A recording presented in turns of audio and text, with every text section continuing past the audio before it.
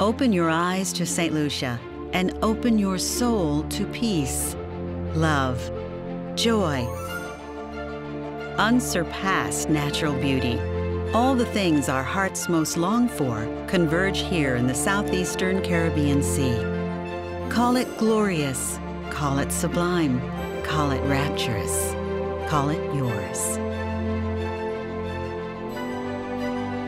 This is one of the lushest Caribbean islands, spellbinding, romantic, like no other. The majestic twin pitons, dense rainforests, dreamy coves, ribbons of sandy beach, idyllic waterfalls. Open your eyes, open your heart and soul to the wonders of St. Lucia. For 150 years, the French and English battled to claim St. Lucia as their own. Can you blame them?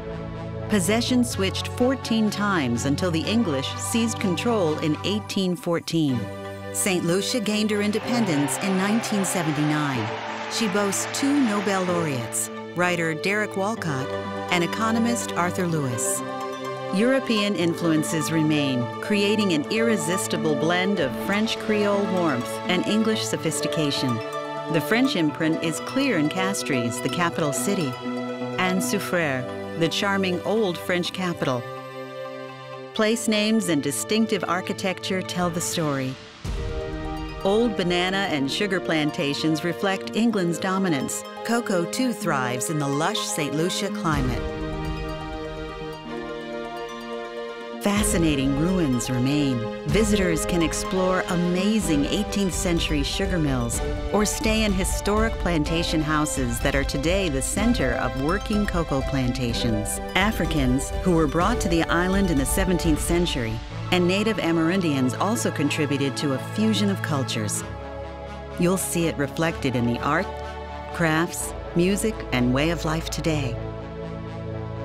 Colorful folk art fabrics, ceramics, wood carvings,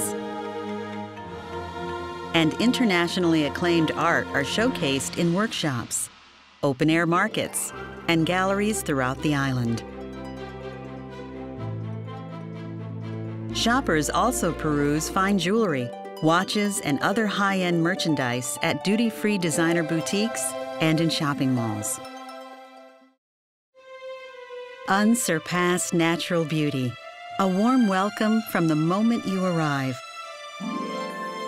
Adventure and romance at every turn.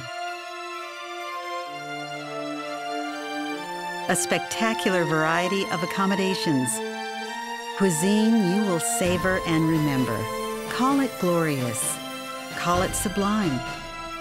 Call it rapturous call it yours.